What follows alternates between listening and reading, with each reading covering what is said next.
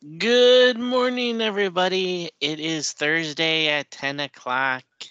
And you know what that time means? It means it's Para Schoology walkthrough webinar time. Uh, so we're going to get started here today.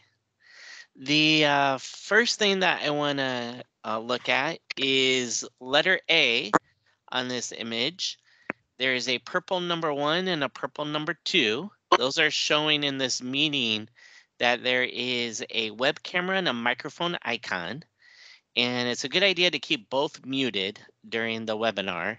So that means just click on those to turn them off. And if you have them off, they'll have that slash mark uh, through them. I am going to do question and answer throughout the webinar today. So when I have those opportunities to ask questions, go ahead and unmute the mic at that time and ask your questions and we can have that dialogue. Um, but I'll introduce those points within the webinar today. Also, you see an orange number three. The orange number three is, it's almost like a comic book talking icon. If you click on it, it opens up a meeting chat off to the right hand side. Sometimes our attendees uh, don't see that icon for the meeting chat. If you can try to enlarge Microsoft Teams, sometimes it shows up in that toolbar. Or another workaround is just closing out of Teams and rejoining and uh, starting it up again. Uh, sometimes has that appear. So speaking of the meeting chat, if you click on the meeting chat icon, uh, letter B is showing off to the right hand side is the meeting chat. And I am going to put in a link here right now. Let me type that out. And this link will be uh, the way that you can record attendance for today's webinar, but also will be a way for me to collect uh, your name and email address so I can email out uh, resources and videos and a copy of the webinar presentation that you're seeing for a follow-up email.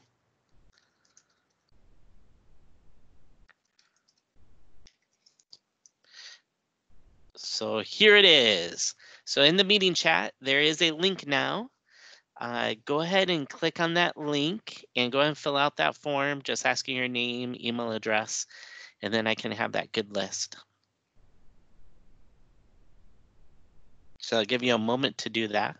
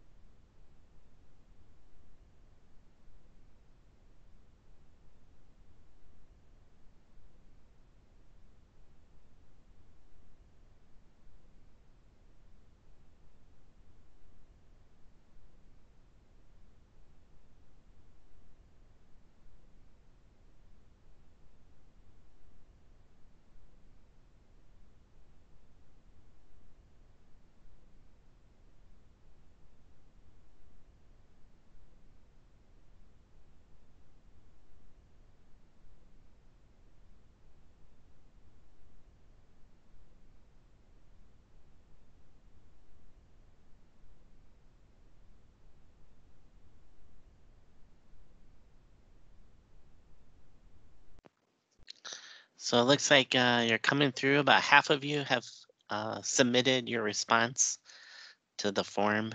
Uh, so remember that's in the meeting chat.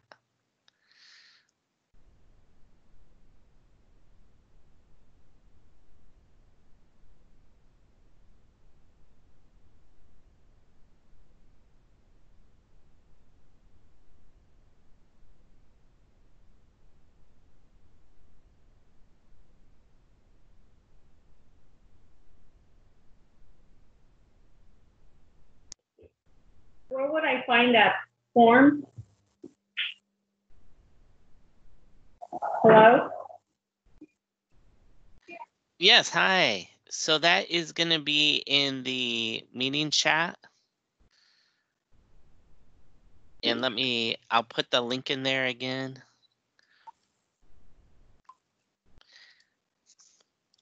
There we go. So on on your Okay. toolbar, if you you got it now, cool. Yeah. Little puppy, she's like, not go under the house.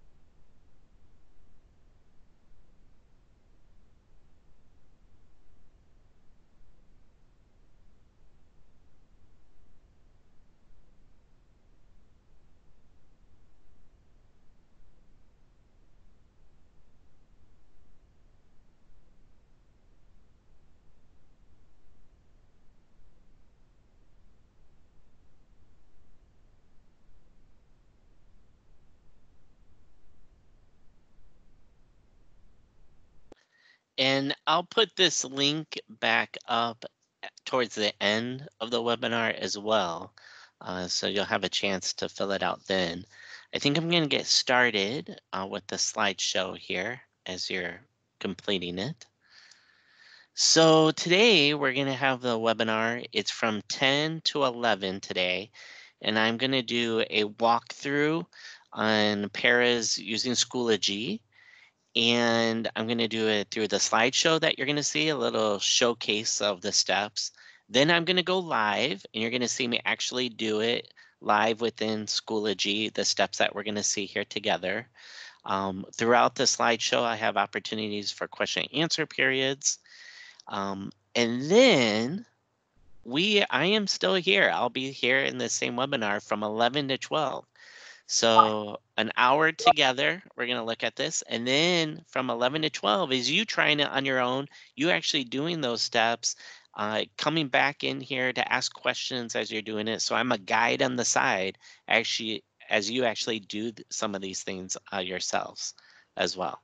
Um, my name is Matthew Ketchum, your neighborhood friendly technology coach. And I'm really glad that you joined us. It looks like we have a lot of K6 uh, is here with us today. Uh, so really excited to have you all and uh, you all wanting to help out the teachers and students and uh, being that support. So that's uh, that's very uh, great and incredible. So I'm hoping to help you with that. So this is our agenda for today. So we're going to one, look at how to log into Schoology as a para. Two, we're gonna see how can you make a Schoology course? How can you have your own course? Three, how to add the students to that course that you have. And four, how to host a meeting in Schoology conferences. So we're gonna look at those four main things today. And again, you're gonna get a copy of this slideshow in a follow-up email. When you see this slide, uh, the Q&A, that's when I'll have opportunities to do question and answers. And that's where you can put your questions in the chat. You can also at those moments unmute your microphone and ask your questions. All right, we're gonna get started. The first thing is how to log into Schoology. So as paras, your accounts have been created, I believe by Alma, and you might have got an email from Alma stating that your account was created. She usually lets you know you have to log in with the Schoology.com website. So you don't log in to the same website teachers or students do. They do like a mcsk8.schoology.com website. But as paras, you're going to be logging into Schoology.com itself. You have a username and password um, that was created for you. And Alma creates it such a way that you can sign in to Schoology.com and you'll be part of the school site that you're uh, para at, which is pretty neat on that side. So pretty much what you do with that info is we suggest that you're on the Chrome web browser to be on the internet. So there's different web browsers. You know, there's the Blue E, Internet Explorer, uh, but we recommend uh, this one. It's the green, yellow, red ball with the blue dot. Uh, so Chrome web browser is the best one that works with all of our tools. So on the Chrome web browser, uh, you're going to go at the very top where you type web addresses. You would go to schoology.com. And when you're at schoology.com, you'll have a login at the top that you'll click on. And you'll just put in that username and password that Alma had created for you to log in. All right, any questions with just logging in? And feel free to unmute your mic at this time or put it in the chat. I have a question. Yes. Um, I downloaded the app on my phone. Is that okay? And did were you able to log in? Yeah, I was able to log in and everything. Okay. That's okay. You're definitely gonna be limited to a lot of things I show you today in that. So Okay. The Schoology app is a great place to check in on students' work submitted. But a lot of the things we need to create, you'll be limited as a para teacher kind of role in the app. Okay. So then just to do the site. Yeah, if you can if you can go to the actual uh, Schoology website. Okay. Thank Good you. question. Yeah, good question. I have a question Hi, for I you. all. have- um, yeah, go ahead. I'm sorry, I have a question. If Yeah. you're certificated as opposed to a para, can you use the MCS K8 Schoology.com or do you still need to go through just Schoology.com? Yeah, so if you um have PowerSchool attendance and gradebook, then you can use the district Schoology website. So as you mentioned, for K8, that's mcsk8.schoology.com. And then for our secondary, that's just mcs.schoology.com. But you only can log in that way if you have a PowerSchool attendance and gradebook that you have with students. Otherwise, you will have to log in with schoology.com. Okay, great, thank you. I do not have uh, PowerSchool because I'm a coach, so I'll go through the Schoology.com. Thank you. Yeah, and I would recommend if you haven't gone through Alma to get your Schoology.com account created, that's probably going to be the best way because she can create it in such a way you can still log into Schoology.com, but be part of a uh, the school site. Okay, so do I just need to send her a message and let her know? Because I did get the message that says um, from our other coach at the site that said, here's your login, et cetera. And I thought it was kind of interesting because I thought, well, I thought I already had a login. So now that makes sense why she sent me that. I can just let her know that I'm also certificated so she could put me on the other one. Yeah, yeah. So you you're right. Behind the scenes, I think getting ready for today, they a lot of sites were getting the accounts created through Alma. Um, so if you recently got a message that you have account created, you might try that one and see what that login looks like. But if you're not, when you log in, you're not part of a school site. At the top, you'll see in a moment it's themed for your school site when you log in. Um, if that's not happening, then yeah, just email Alma and her emails right here, and I'll put that in the follow-up email as well. Okay, thank you. Yeah, good question. Other questions with uh, signing up or logging in? All right, so then the next thing I want to show you is how to make a Schoology course. So once you logged into Schoology, you can create your own course. Uh, the reason for that is uh, when you log into Schoology.com, you don't have any courses or students automatically. Um, that only happens for teachers that have that PowerSchool grade book and attendance. That part is all created for those teachers, those courses, and their students automatically in there. But how we're going in just Schoology.com, you'll actually have to create the course and get your, the students in that course. So let me show you how to create the course. So the first thing that you would do is once you log into Schoology, step one, you'll click courses at the very top. Then step two, you'll click my courses towards the right side. Then step three, you'll see kind of on the right side where this image is, there will be a button that says create a course. Once you do that, then this will appear. So this is the create a course screen.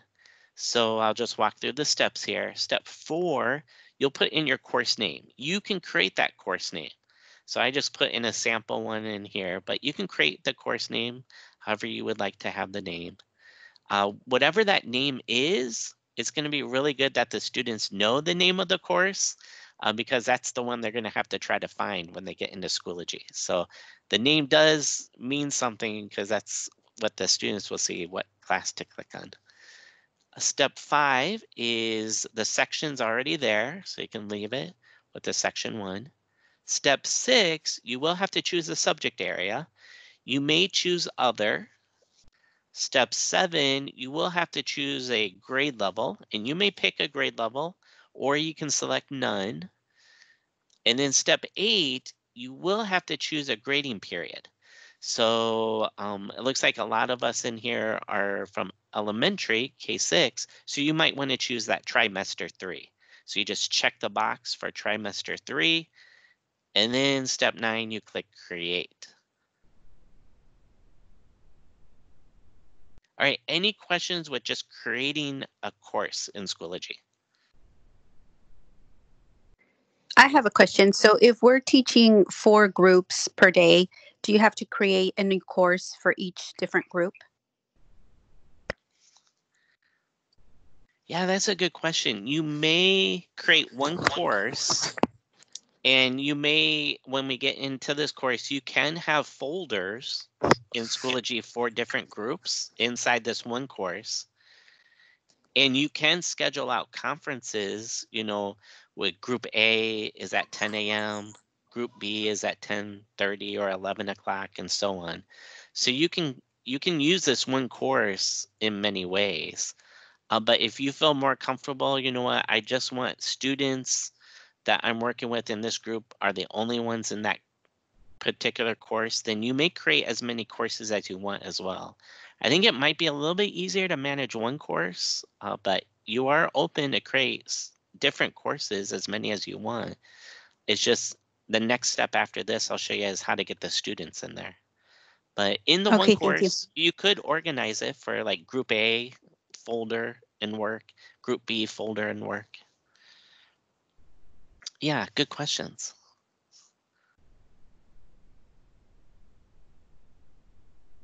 I have a question. Yeah, hi.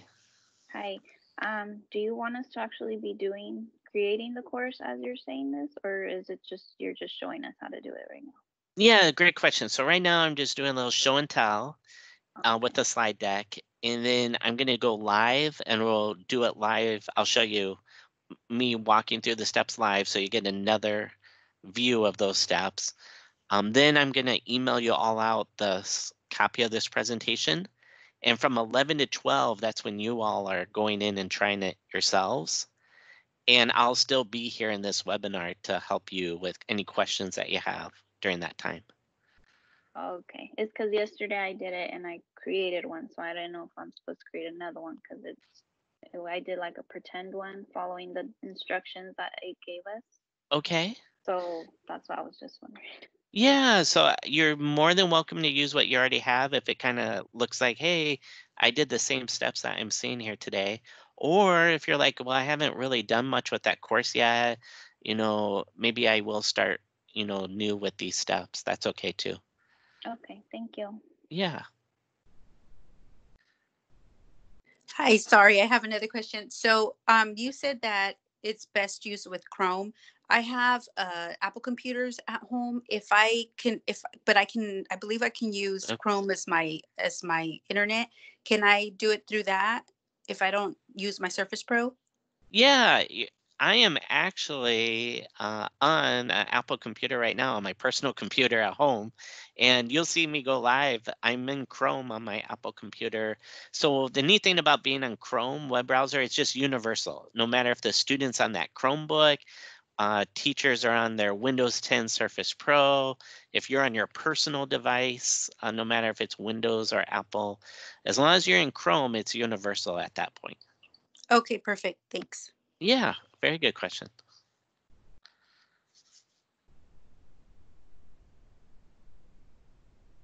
All right, so the next thing I want to show you, you got your course created. So how do you add the students to the course? And there's two different pathways I'm going to show you. One pathway is the students just join it.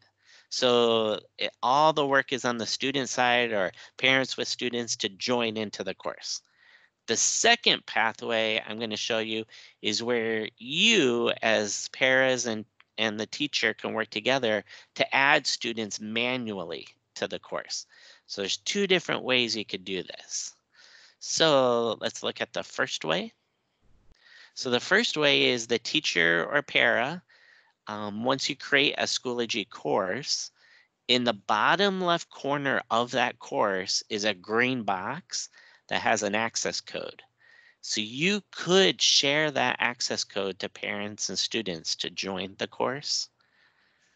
So what students would do with that access code is when they go to Schoology, they'll click courses at the top. Uh, step two, they'll click my courses on the right side. Step three on the right side, they'll click join a course. Then step four, that's where they're going to put in that access code that you shared out. In step five, they join it. So this first pathway is pretty much just the para or the teacher would share out that access code to the course that was created. And then all the work and is done by that parent students uh, when the student logs into Schoology. Again, students just click courses, step two, my courses, three, they'll click join a course and put in the access code. As you see in step four and join it, step five. Um, so that's one way. The other way is manual adding the students. So this way, the teacher or parent can try to add the students to the course themselves. So how this works is in the Schoology course you create, step one, you would click members on the left-hand side. Step two, you would click add members. Then step three, you just want to make sure you're at your school site that you're at. The school site name is there. Sometimes there's a little drop down arrow to choose the school site. Step four, you can search for the student by their name. And then step five, you would click on the student name on the list that you see there. And you can you can do this as many times as you want. Search for a student, click the student like in step five. So step four and step five can be, you can keep doing that. Um, and then step six, when you're ready to add that student or all the students you have clicked on, step six, you add them. Uh, so you click add members and they're in the course. So now when the student just goes to Schoology, they just click courses and they'll see the course uh, to click on. Uh, they're automatically in it. So those are two different pathways. Any questions on how students get into your course? Um, I don't have a question on that quite yet. I have a question because um, some of my co-paras are um, stuck and cannot actually see the slides that you're showing. Okay. Um, they are just stuck on the screen where it kind of shows the members that are in the group right now. And so they can't even see what you're actually doing. Okay. Uh, members in the group.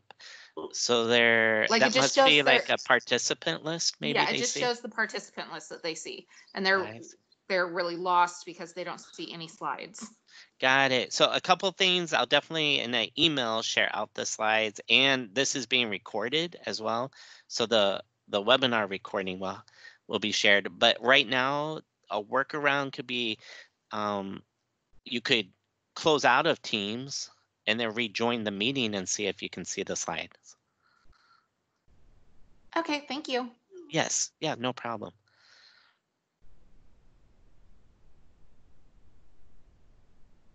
Yeah, I apologize for that. Um, I wanted to say something. Sure. Um, i- if they're on their phones, I'm on my phone too, and I'm actually having to scroll myself to look at the slides. Oh, They're that's a good doing point. it automatically. So if they're on their phone, I'm having to scroll myself following along. Hey, Yeah, that, thank you for I'm- that that's tip. what I'm doing as well. Yeah, so if you're on the phone, that's a good tip. On the phone, it looks like the slide deck, you can actually go through the slides yourself. I'm on slide 19 right now. Um, and I can be mindful to tell you what slide I'm on. If that helps. Or I can just say next slide. Do you get to see the slide numbers at all? Yes, on my phone, Yeah. I could see it. Yes, on my tablet, yeah. Okay, so if I kind of let you know what slide number I'm on, that might help. I think but- if you're on a different slide, it's there's a like um a button that says to presenter. If you click that button that says to presenter, it like follows through with the the teacher, the guide. Oh, thank you for that tip. So it looks like on that same slide selector, it might be where you can catch up to where the presenter's at. Yeah, Yeah. so if you click that one, it'll just pop up wherever you're at. Okay, that's cool. I think you're my most advanced group doing it through mobile devices. so I'm, I'm learning a lot of good tips from y'all. We weren't given computers. I know that's true, and I do, I do kind of, I, I feel y'all all out on this. Um, so I know we always advocate, um, but you know, continue discussions on that. Uh, so yeah, you're right. So I definitely need to be aware that you're all on personal devices uh, doing all of this. Uh, the next thing I want to show you before I go live is the last step here is how to host a meeting in Schoology conferences. So Schoology conferences is the approved video conferencing uh, tool that we have. It's built right within your Schoology course. Uh, the really neat thing is uh, teachers and paras in their course can schedule out these conferences. Students can join them. Uh, and the teacher para has a lot of admin rights to the video conference. So you can mute all of the students. Um, only the teacher or para can see a student if the student has a web camera on. Students can't see each other for uh, privacy of minors. Um, there is a virtual whiteboard that I'll show you. You can share a YouTube video to watch it all together. Uh, there's even a public chat that you can uh, chat in. Uh, Schoology conferences also lets you record that meeting if you want to. You don't have to, uh, in case uh, some students weren't able to uh, meet up live with you. They can see a recording of it. Uh, but a lot of things you can do with this conference is it's the tool that we have to do a live video conference instruction with students or meeting with students in live through distance learning. So how this works, it's called conferences. It's in the Schoology course. So I'm on slide number 21. And on slide 21, it's showing the Schoology course. On the left-hand side is conferences button that you click on. And then step two, you click on create new conference. And that's how you start to schedule these. I'm on slide 22 now. And on this screen, once you create a new conference, you have to uh, create the conference. So you'll put in step three, a conference name, what you want to call it. You'll put in a start time, as you see in step four. So that's the date in step four. Step five is the start time. You may add an end time. It's up to you. That kind of gives the person joining in, the student joining in, how long this will be. So the end time is okay to put in as well. Just know this start date, the start time, and the end time is just text information for someone just to see when this thing will happen. It's not when the conferences doesn't automatically turn on and turn off by this start time and end time. Um, so conferences is just going to be started by you, the teacher para, whenever you press the start button, and I'll show you. Uh, so just know this info right here is just text info. Just someone who comes to conferences can say, hey, on Thursday at 10 a.m., there's going to be a conference meeting that I can join in on. Um, so- Matthew, may I make Yes. a comment about that? yes, please. Um, I know that some of the the students um, have like East Coast time on their Schoology accounts and they haven't been changed. And some teachers have been experiencing kids who aren't coming into the conference on time because of those discrepancies. Do you think it might be a good idea in that situation just to leave the time off and to leave just like make us communicate what time so that we all know that we're talking about our time zone? Yeah, that's a great point that you you share there. So we, I definitely will share with you in the follow-up email. We do have a video for how students can change the time zone um, that you can share out too. So we're really recommending that you know the teachers, paras, uh, students, you know, make sure their time zone is set to Pacific. So I think that's the best. The only thing that happens if if the time zone's not set correctly, so you're correct, this conference time will show up different it will show at Eastern time, which is three hours ahead. so they might try to join at 7 a.m. instead of 10 a.m. 10 a.m. But anything that you put in Schoology course two, if you had a deadline date um, or a time of anything else you put in Schoology will also be off by three hours. So we're kind of recommending in elementary that um, everyone check their time zone and change it to Pacific just so everything's synced up what happened was when school started this school year, um, all of the elementary K six uh, was created, was pushed out from the admin side. And then it was realized that that push out had the Eastern time in it. And so then they changed it to Pacific, pushed it out again. On the admin side, it shows all elementary students and teachers with Pacific. But what happened, that second push out never really did change it because of the initial uh, the beginning of school year. So they're definitely going to be more mindful next school year when they open up K6 accounts and make sure they double check the time zone. Um, but unfortunately, that leaves it right now Eastern time zone for uh, even some teachers, uh, most students. Um, so we definitely have a video how students can change the time zone. And it's the same process a teacher, student, or para just to check their time zone. So I'll I'll definitely share that in the follow-up email. But that's good to be mindful of. I think your comment is you're correct. A lot of students they're on the Eastern time zone behind the scenes in Schoology, and so your 10 o'clock as Pacific time will show up, eh, you know, differently. It will show up 7 a.m. on the student side. They think when it's going to start. So I think being mindful. I think you're correct. I think one is getting everyone to kind of do that initial step change the time zone but second being mindful i like your idea is you don't have to list a start time either. You can just put the start date and communicate you know the start time you know a little different. You can even put in the conference name. You could put the conference name won't change on the student. So you could put thursday 10 a.m um, conference meetup. So even in the conference name in step three, you could put the time up there. That won't change. That's not linked to any time zone, that conference name text box. Uh, but good ideas for little workarounds at this point. Other questions? Matthew, I have a question. Yes. How do I get from, because I'm still on the join course screen, how do I get from that screen to the screen that you're on right now? So where I can see um, the conference and all that. So I hear you. So you're in our meeting.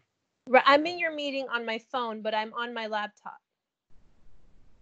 um, on Schoology. So I'm kind of going, you know, trying to do what you're doing on your screen, but how do I get I'm still um I'm still on the courses tab and I'm trying to find where I can see materials, updates, grade setup, badges, conference, all that. I'm trying to find that menu. Okay, yeah, I'm gonna go. I'm gonna walk through this show and tell slide deck. Okay. Um, and we'll just have a look at it right now, just a show and tell. Then I'm gonna go live and try out the steps, and then after that, I'll give you all opportunities to try it out on your own and ask questions as you do it. Okay. Does that sound all right? Yeah, that's fine. Okay. Um, so once once you create your conference name and date and times, then it looks like this. So when you're ready to start this thing, So teacher, para, or the student goes to the Schoology course at that day and time. You click conferences on the left-hand side as you see the purple box. Then the red box is what the teacher or para clicks on to start a conference because you're the owners of the course. Uh, you're the only ones that can start the conference. So you'll click start conference button to actually get started. Students, when they come in here, they can click where you see the title of the conference, that green arrow is pointing to. That's where students click to join the conference. They don't get a start button. They just click on the title of the conference on that date and time to join in. That title will not let them join if the teacher or para has not started it yet. Um, so only when the para teacher starts the conference can a student actually click the title here of the conference title, and then they can join in. And I'll show you this in a moment too when I go live. This is a really good website. So Schoology Conferences is created by another company for Schoology. That company is called Big Blue Button, and they make these conference video uh, tools for companies. Well, they have a really neat website, test.bigbluebutton.org, and you can actually go there and you can simulate an experience of being in Schoology conferences. It's it, it's everything that that Schoology conference is, but it's in a simulated experience to just try out click on tools. It won't interfere with your Schoology course or anything. Helps you kind of get more familiar with what a conference looks like. Um, and I'll show you that today too. But I thought that was a really neat uh, playground that you can go to, a little sandbox area that you can play in uh, not have to worry about if it's going to mess up your Schoology course or conferences. All right, questions about Schoology conferences?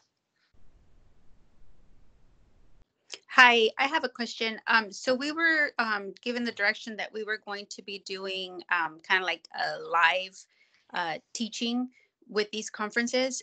Is it kind of the same thing whether you do it live or you record it and then put it up for the kids to join it or with conferences it's like a live meeting kind of like we're having right now. Yeah great question. So uh, conferences is a live meeting very similar to what you're doing right now with me. It does have the ability to record so you may record it as well. And then those students who aren't able to make that meeting can look at can play a recording and that recording is right within conferences as well which is kind of neat. So when a student clicks conferences on the left side of a course um, you can see in the screen that in the middle it has active completed towards the top.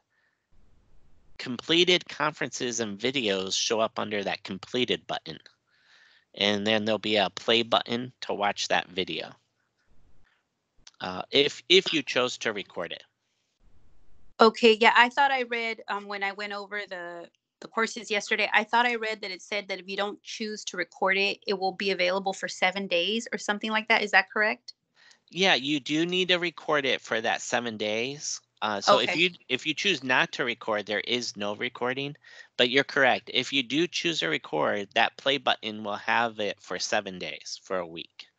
Okay, and then I had another question back to when um, I asked the question about whether you have to do a course setup for each of the four groups, or and you answered you could do one course and just use a different folder for each group. Now, my question is, it, so when you let's say I want to, um, I do my meetup for my first group, and I only did one course folder. Can all the students, let's say I have, you know, 30 students total, but there's only 10 in that one group, can all 30 of them watch it or just the 10 for that folder?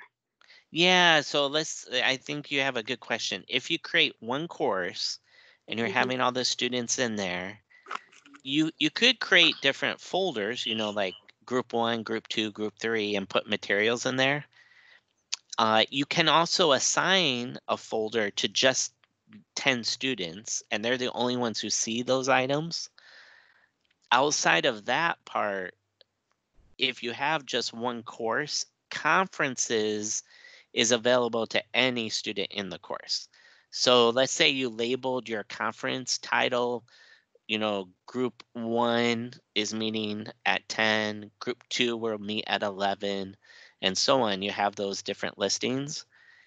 Um, you know, share out to those 10 students, hey, we're meeting at this time in conferences. It will be the only one they could click on because that's the only one you start up at that time.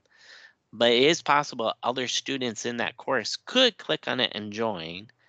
You will see in a moment, I'll show you live, you will see a list of students who are in the conference with you.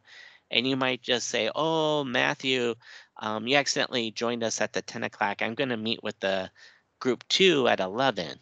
Um, I'm gonna, is all right if I dismiss you now and you come back at 11 to join in? Uh, so you can manage your 10 students in the conferences. You'll see who's in it. So if you do one course, it is possible that any student can get in a conference. Yeah, that's what I was kind of thinking. Okay, thank you. Yeah, good question.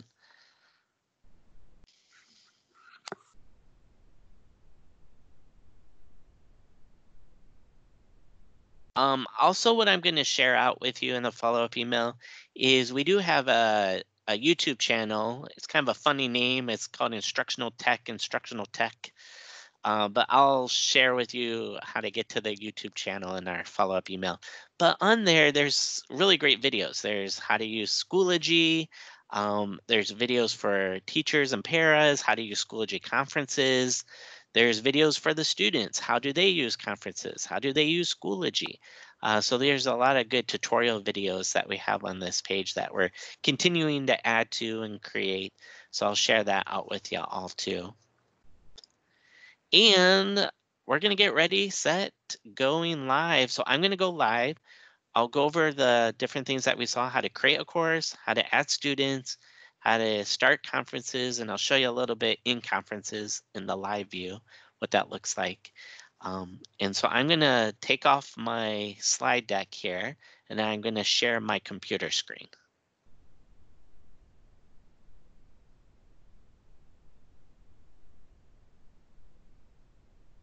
All right, so here I am on the computer screen. And what you're going to see is to log in, you will want to go to schoology.com. And when you're at schoology.com, you're just going to click login in the top right. And you're going to log in with that username and password that you were given. And then once you log in, uh, you'll see this. You'll see courses at the very top. And then on the right hand side, you'll be able to click My Courses. Oop, let me log in again.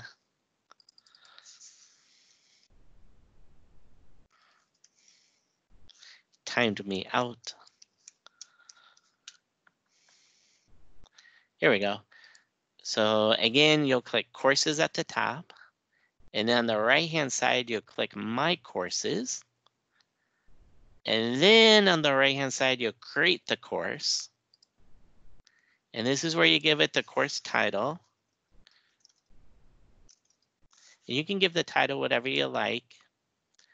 The section you'll leave, subject area. You can choose other. Grade level. You can choose none if you would like. And in the grading period, you'll have to scroll all the way down at the bottom of this box. And that's where you're going to see trimester three to check that and click create.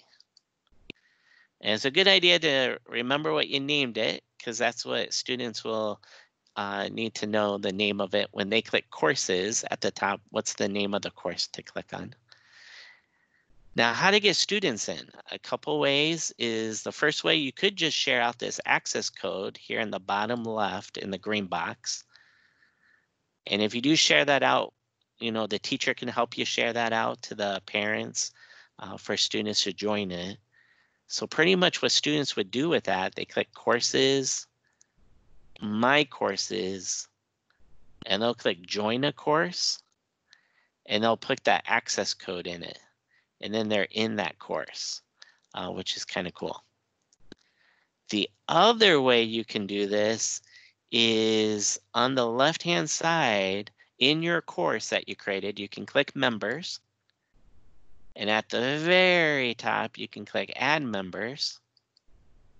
And you just want to make sure you choose the right school site. It probably is going to be set for you already, but if not, you can use the little drop down arrow to choose your school site. And here you can start to look up students' names. Uh, you can search for them, or you can look on the list here. You click on a student, and you may click as many as you like. And when you have students that you want to add to the course, click Add Members. And you can do this as many times as you want. Click Add Members, do that again, click a couple more, Add Members, until you get your full student list that you want in here. You can even share that access code out to the teacher if you wanted. Uh, when the teacher joins, you'll see their name on the members list as well. And to give someone admin rights to the course, like a teacher or another para, you would just click the gear next to their name and it will say make them admin. And you can give them the little admin badge as you see I have here, uh, so they can do things just like you can in the course. Um, students you don't give the admin rights to, uh, just another teacher, another para who's in the course. All right, so now let's see here. To do a Schoology conference, to do like a conference with your students, on the left-hand side, you click conferences. And you have to create one of these. So you click create new conference. And you give it a title. And I like the feedback I was given. So Thursday, group one, meet at 10 a.m. So even if you put in that title in here, um, you can even give the date. But if you put the time in here, that, that will be consistent for everyone to see. So we'll put the date here. And then I can just create. So you don't, I don't think you have to add a time. Let's see. Nope, you don't have to. Oh, it puts that as 12 a.m. So you probably do want a time in there. So I can click the gear here, click edit, and I, I can give it a time. So it does look like it does need a time in here. Um, but at least your title will have it here as well. All right, so now it's that day and time, and you come to your Schoology course. Everyone clicks conferences on the left side. Students, teachers, paras, you all click conferences on the left side. And then only the admin of the course can click the start button on that date and time. So I'll do that. Just remember students would join in with this link. You know, I created the, I started it. So students would now be able to see this link and click on it to join in.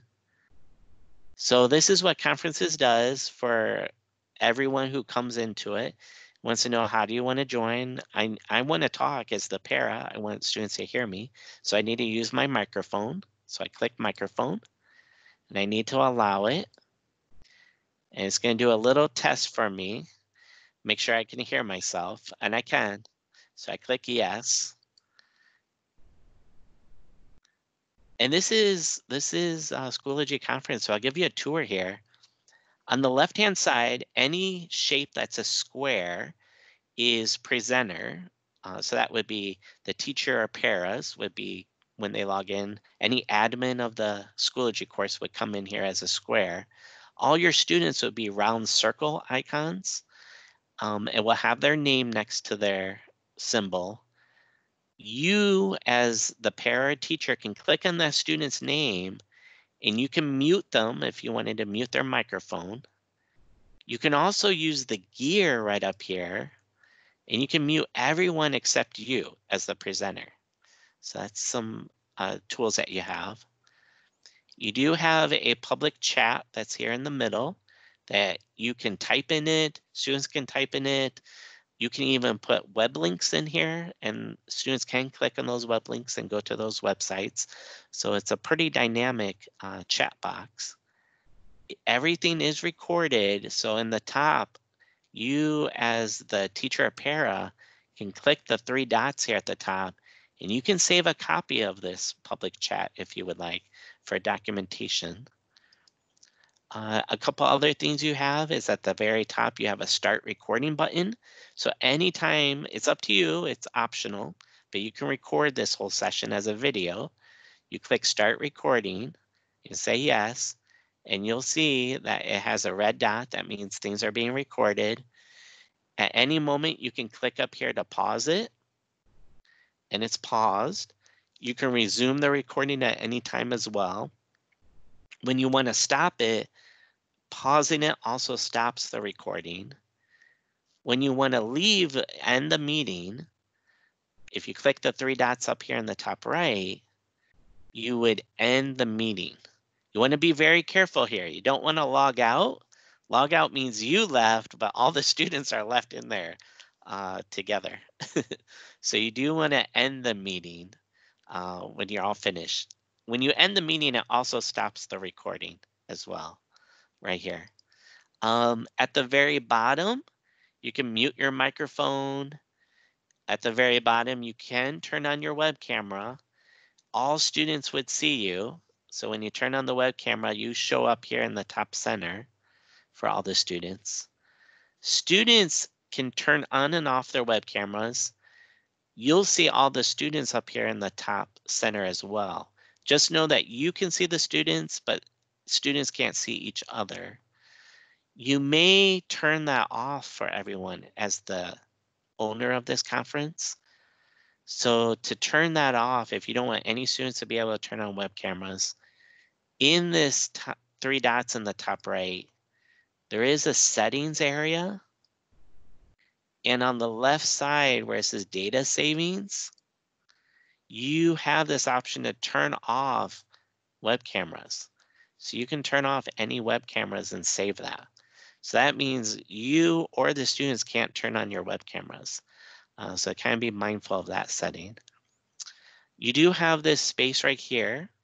Uh, you can click the next slide and it's like a virtual whiteboard. Uh, they can see your hand moving on it and the red dot. You can click on the tools and you can change it to a pencil to draw. You can click on a T to type or a shape to draw. And you, you can work out things here and students will see it in live time. You can change the color and thickness. You can even say, hey, I want to undo what I just did. And it takes it off. You can clear out the whiteboard with the trash can. And this last button, if you want to get students to write on the whiteboard with you, uh, you would click this one, this multi-user whiteboard. Just know when you click it, all students have access to annotate, draw, type on the whiteboard all at the same time. Um, so you might say, you know, uh, you know, these three students in the top left corner, you can draw a grid maybe where you want them to put their answers in it. A couple other neat things that you have in here in the bottom left is a plus sign. You can do a poll with your students. So if you click on that, really quickly you can send out a yes, no, true, false. They'll check for understanding. Uh, when you click the plus sign, you can share out a YouTube video. So when you click share video, just paste the YouTube web address of the video here. And you can put that in. Also, you can share out your own PowerPoint or presentation or a PDF document. If you click upload a presentation, you can upload any files and then all the students will see it at the same time. So a couple things that you can do in here. Just know that your students will show up here on the left-hand side. You'll see all their student names. Again, you can click on the student. You'll have an option to remove them from this menu. You'll have an option to mute them. You can also make them unmuted if you want them to talk. The other thing you're going to see here is students can click on their name and they can raise their hand. They can click an icon with their hand raised if they have a question. And you will see that it will resort the student names here on the left side. The top student names will be the ones with their hands raised. And you'll see an icon in their circle here with the hand icon. Um, so you can click on that, unmute them, have them ask their question at that moment. Um, and then when you when you do leave the conference, just click the dots and make sure you end the meeting and say yes. And you get a little survey. And then when you close out of it, you want to also click end conference in Schoology to officially end it. And then what happens is under the completed button at the top, and it takes a while, but if you did record, right here will be a play button. And it does take a couple hours to process the video before it's able to be played here. So you give that some time, but you can come back here under completed and check the play button. Um, again, the one website um, that I, I'll share out with you is that test that big blue button. And this is kind of neat. If you just come here and put your name in and join in, this is a simulated experience of what we just saw, like a real conference that you can go in and play with the tools and it won't, you don't have to create a conference. You can just play in the same environment that we were just in. So that's kind of a neat website, uh, that test that big blue button. All right, questions so far that you might have, what you saw?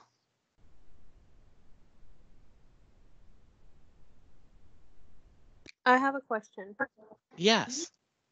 Um, so say you're working with a teacher, um, is there a way to join her conference with the students? So say Uh, she yeah, say share that again. creates- Say she creates a conference and she has the students on there and then she wants me as her para to join. Is there a way to do that? Yeah, so that teacher um, would need to share with you the access code to their course. So you would just ask the teacher, um, can you share me your access code? And it's in their course in the bottom left. And then you would just have to go to courses, my courses, join the course with the access code. And as long as the they let you join their course, that teacher, uh, they can click members and they can see all the members, including you, that you joined. And just being a member in the course means, yes, you can attend those conferences. Now, the teacher can also find your name, click the gear, and make you an admin in the course with them. And that means you would have the admin rights in that conference as well. So if you just join a teacher's course, you would be like a student in the conferences. Um, but if that teacher makes you admin, then you would have those same rights that you saw me demonstrate in conferences. Okay, thank you. Yeah, good question. I have a quick question regarding Yes. that. Um, so I'm looking on my my own, and it looks like she already put me as her admin, and I click Okay. onto the conferences, Yeah. and then she already has a, a conference set up. So when it's the time to start, I would just click start conference.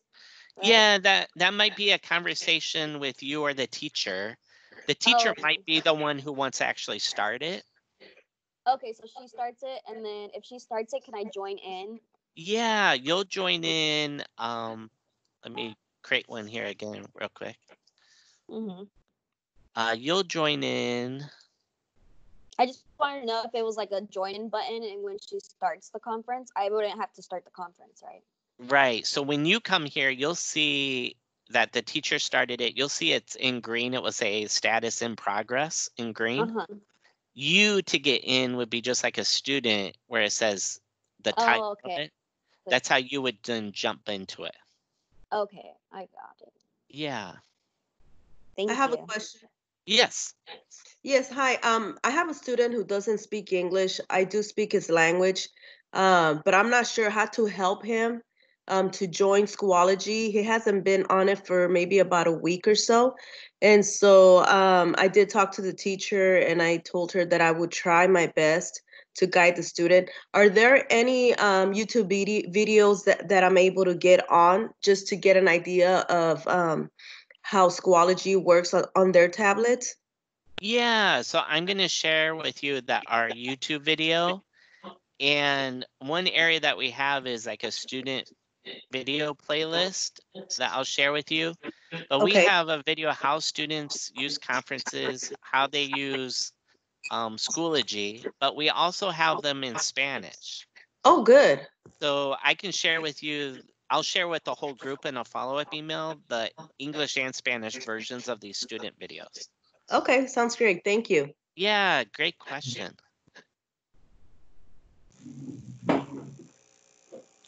Matthew, what are the settings you recommend if we're doing our um, like 20 minute lessons, holding a presentation book? Um, I was thinking maybe you could tell the group, you know, turn off cameras, just leave mics on. How would you arrange that? Yeah, would you want the students to see you though?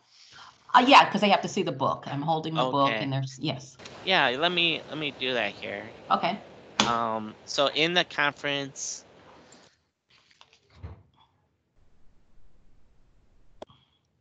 so so the one nice thing about this Schoology conference it is really mindful of privacy of minors. Uh-huh. So it doesn't let students see each other, even if they turn on their web cameras. Um, and you can actually click on a student. Uh, you can only mute their microphone or unmute their microphone. You can't click a student to turn off on or off their web camera. Um, you can change the setting if you didn't want any student web cameras on. In the three dots under settings, data savings on the left side, you can turn off.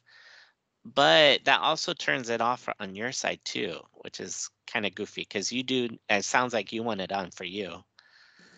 Um, so for just you to have the web camera on, you would click share web camera at the bottom and then allow your web camera. And then it's going to ask you, hey, everybody. Um, it's going to ask you what camera, you know, front or rear facing, and you'll start that. And then it shows up here in the middle for all students, uh, right here. And then, uh, you know, you would have to kind of, as you can kind of see your webcam, you would have to kind of hold the book up a little bit so they could see it. And you can kind of show it a little bit and then take it down to read it and show the page again for them to Okay. look at. Okay. So automatically their, oh, their cameras are off. They are, they are, and they can turn on their web camera, uh, but it's only you to see it. Okay, thank you. Yeah, good question. Hi, I have another question. So the like Gail was saying, we have a presentation book that the kids have to be able to read. So how close to the our camera do you think we need to be so that they can because basically we hold the book up for them to read as we're reading. So Oh yeah, let me let me yeah. grab a book and let me just try it. Yeah, and then my second question was I saw that you had your headset on. Do you recommend like a earbud setup um, for better audio quality as opposed to just speaking toward your device? And then my other question was Yeah, uh, so I have children here at home and they can be kind of noisy. Um, Right. Would that would that headset setup pick up my voice better and not you know outside the room background noise than just speaking to my toward my device? yeah, good question. So before I show like a book example, your microphone question, you're right. So you saw me with a headset, and you're correct. A couple things. If you had a, you know, the AirPods or earbuds in or a headset in that you hear, you know, through headphones and it has a microphone to talk. Yes, definitely that the voices can come out a little bit better on the presentation side to the students with a microphone. Um, just know that most of our devices though have pretty good microphones. Uh, but you are correct though. uh, This is real life, right? With distance learning. So there's so many things going on in the homes uh, with you all, with them. Um, that uh, yeah, a microphone kind of headset as you saw would get more of you talking than your background noise um, picked up. But I mean, it's not necessary, and this is real life, and it's it's happening to all of us, you know, right now with you know you know family members, pets, our our kids, um, all kind of living in the house all at the same time. We're trying to do these things, so I think it's also realistic. It's real life. Just being mindful, I guess, letting the household know at this time, you know, as much as they can, you know, uh, professional while you are kind of quiet time while you talk if they can. Um, but yeah, microphone does help, but it's not totally necessary. Okay, thanks. Yeah. Yeah, let me go back to this. I'll turn on my web camera. So I'm pretty much sitting right in front of the web camera here. And let's see here. So I have a book I grabbed uh, right here. And then let's see, I open up a page. So it's a little tricky, isn't it? But you can you can kind of hold it up. And I'm kind of standing up right now so I can kind of see from the top level to see the image that you're seeing. So I can kind of hold it kind of close. I think you can read it pretty good. And I could I could even see it if I'm standing up and looking down over it. Along Matthew? comes a clam. Yes. The texts that our students will be reading out of most of these books are very enlarged because they're intended to see it from sitting in front of you as an audience. So it will be able to be seen.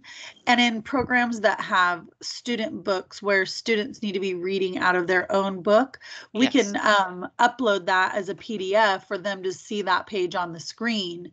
Love it. so we've tried it and it works. Yeah, you're right. So in the bottom left corner, the plus sign, you can upload, even though it says upload a presentation, it's pretty much any document.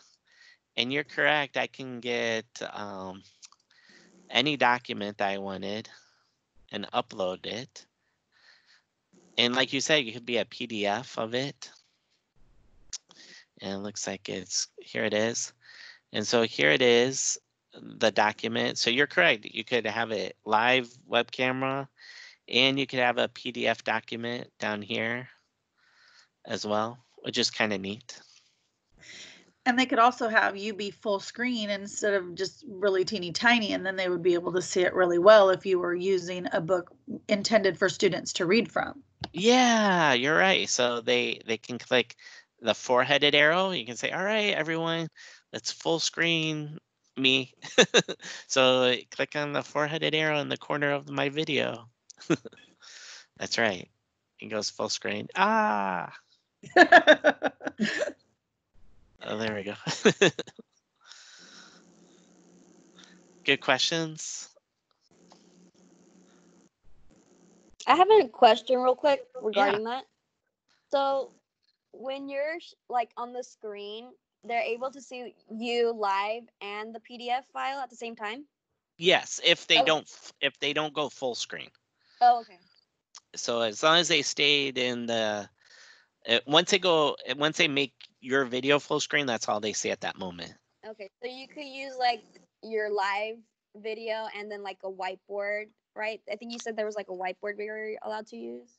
Yeah, so this Yeah. same area, yeah, this is this is actually a really great question. Um, you you can click, you know, once you load up a file, you Mhm. actually have to load up the the whiteboard back. So it's a good question you asked. So you click the plus sign again, go back to where you uploaded this document. Yeah. And it's called the default document. You click the little circle to choose it. So Mhm. you need to load back the default. And then when you click the next slide in the default, you get your blank white- slide whiteboard. So then that would be showing you live and the whiteboard and what we're doing on the whiteboard. Yes, yep, Okay. it will. So here, I'll turn on my web camera. All right, class, we're going to look at uh, about the fish. Um, and he was adding. So we're going to see 2 plus 2 equals. Yes, you can. Okay. Thank you. Yeah.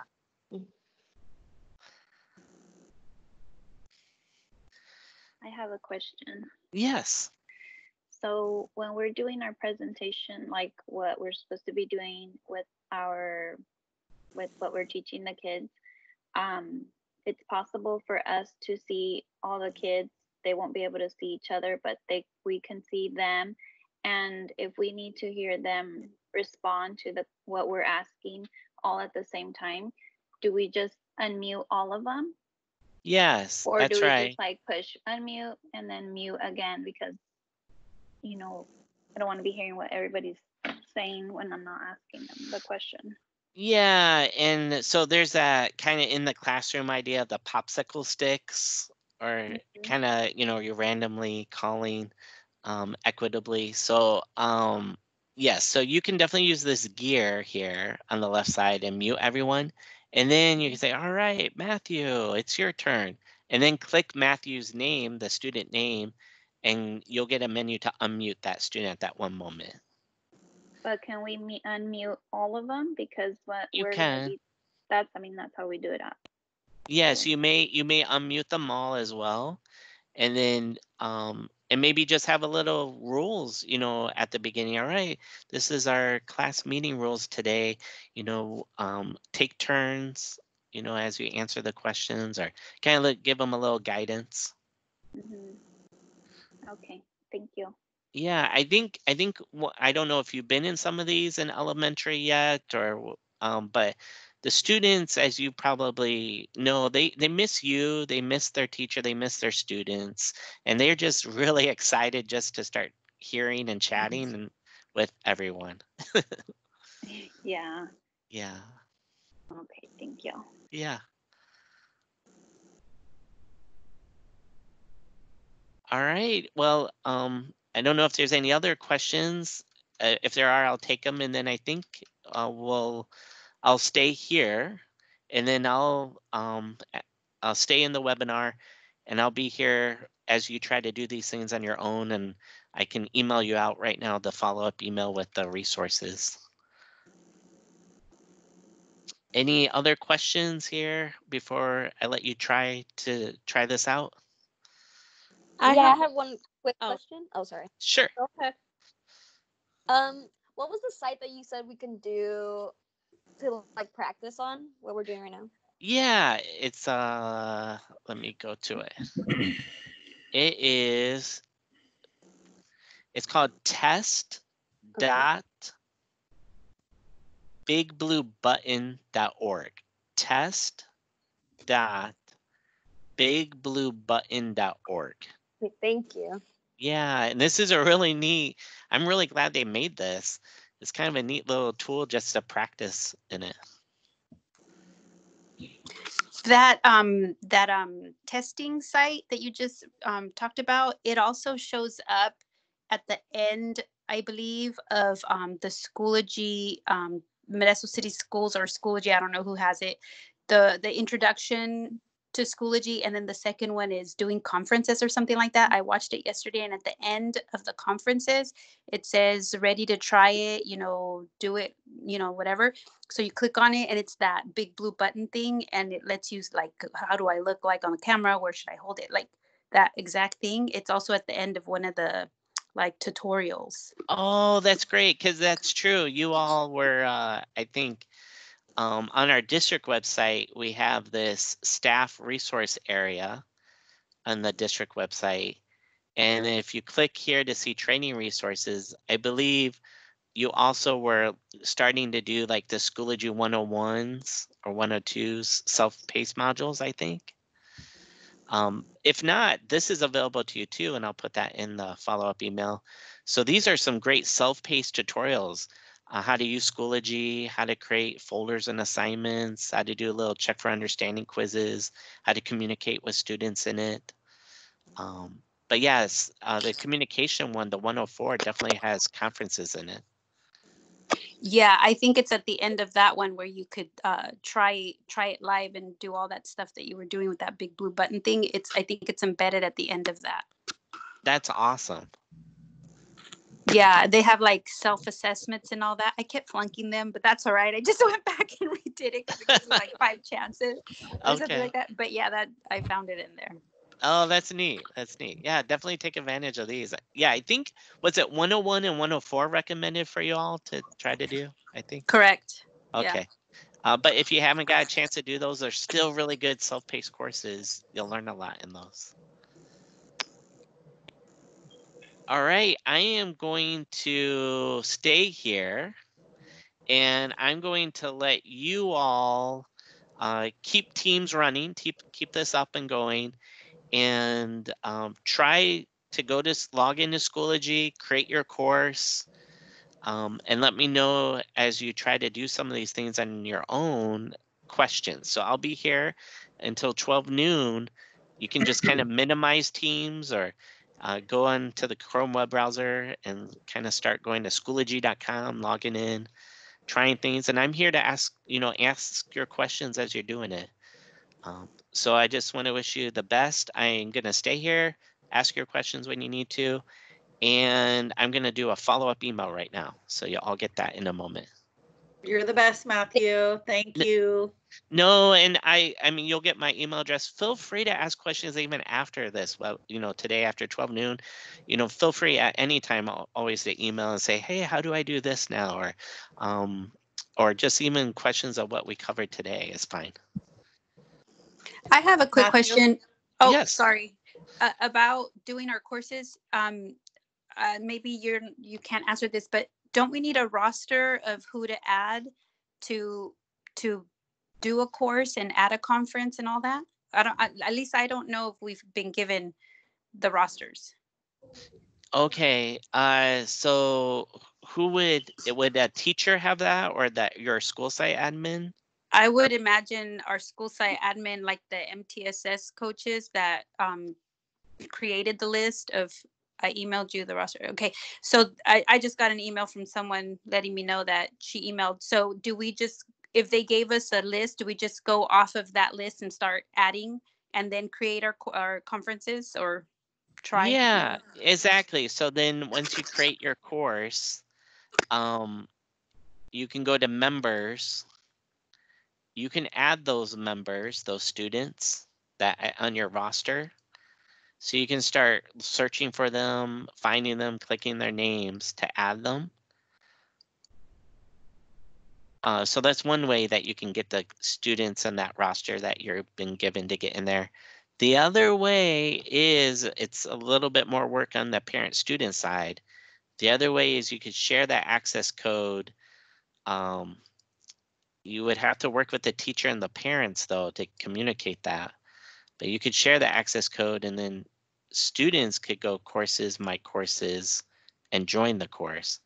It might be easier just for elementary that you uh, add them if you can. So just in your course, just click members, add members, and see if you can do that. Matthew, Yes. in the chat, someone's asking if you can review how to um, upload a PDF again.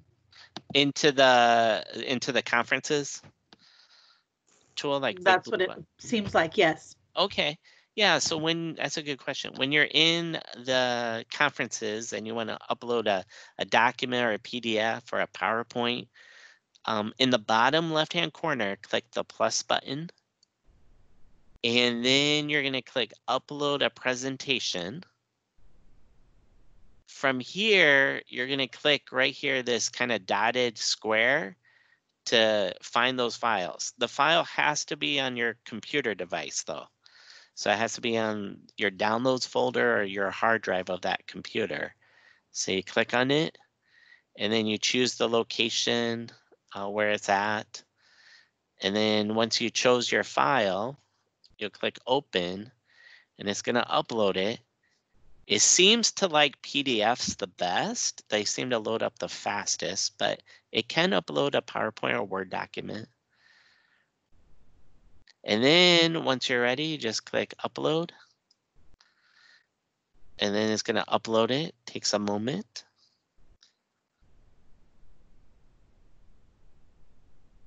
And then it's going to show up right when it uploads, it's going to go live into the conference.